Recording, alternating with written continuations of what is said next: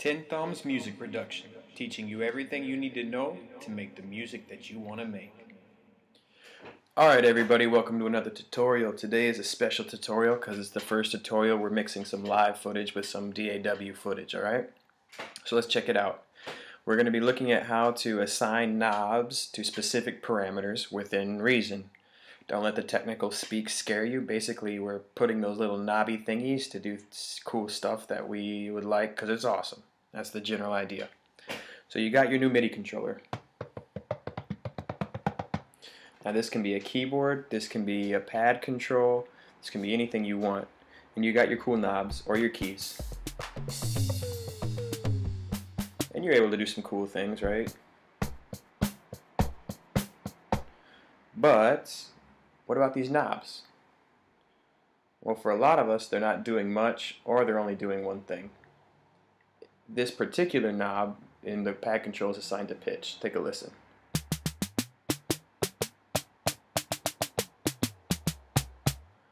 But there's so much more than that. There's so much more we can do. So let's take a look how to change the parameters of this knob to do whatever we want. All right?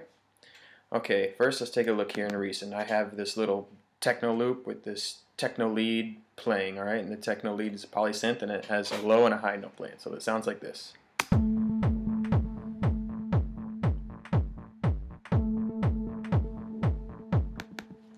Really, really basic, alright? Well, my this is running through an antidote and I also have sidechain compression and I'm also using the Malström as an audio host with audio input to create a low-pass filter. Now I have another video on how to use Malström as a low-pass filter and another video on how to do sidechain compression. If these are new topics to you, if they're confusing or you want to get more in depth, check those out. You help me out, I help you out. Scratch my back, I scratch yours, we all win. Alright, now if I'm hooked up here to the Malström, my padKONTROL you can hear is playing the bass. But my knobs are only moving the pitch. Cool, but I want to get more creative with that.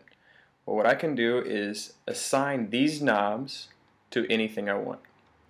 So I'm going to go here and I'm going to control click or right click on the frequency knob of filter B and click on edit remote override mapping. Under control surface you will see no override mapping. We are going to click and click Korg other MIDI keyboard no controls. This is my padKONTROL. All your MIDI will be right here. Click. Now the control is where we choose which is going to affect. So I'm going to choose pitch bend wheel. So the same knob that was bending the pitch is now going to bend the frequency. So let's take a look at this frequency right here, okay? Alright. Very, very cool. Well, let's take a look at how this sounds in live performance.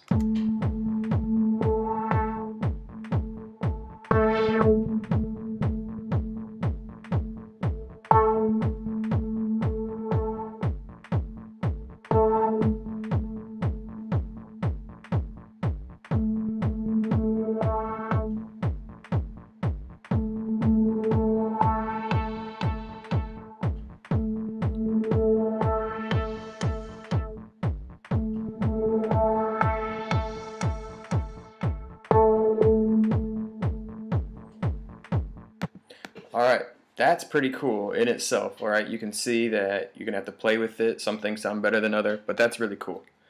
But I can also control click, I'm sorry, alt click, and now it's being automated, alright? So now watch what happens when I hit control and move this knob. Or hit record and hit the knob, I'm sorry. Ready?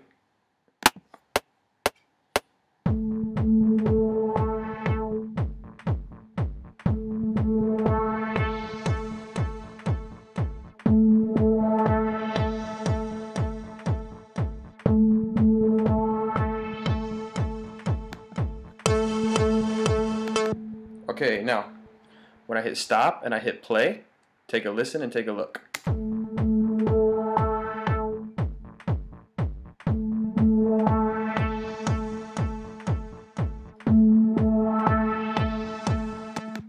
And our automation has been saved as MIDI data.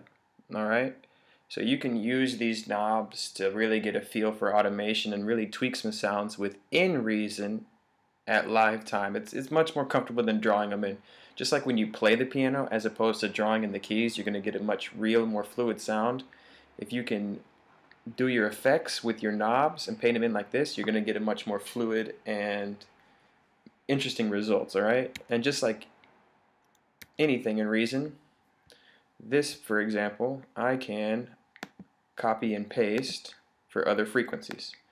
Now, I have no available parameters, alright, but if I want to match this with my other frequency, Alt click, and I can Alt click, and it will match and bend together.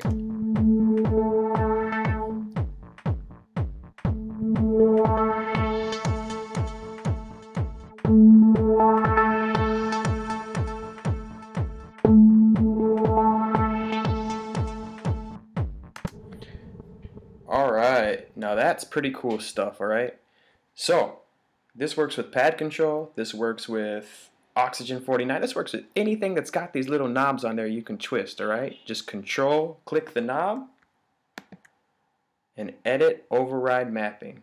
Alright, my friends, Reason users, GarageBand users, whatever DAW you can use, go out there, enjoy it, make some music. I want to hear it. Looking forward to your video responses, and as always, Love, peace, and chicken grease. Be easy, my friends, and I will catch you on the flip side. Ta-ta!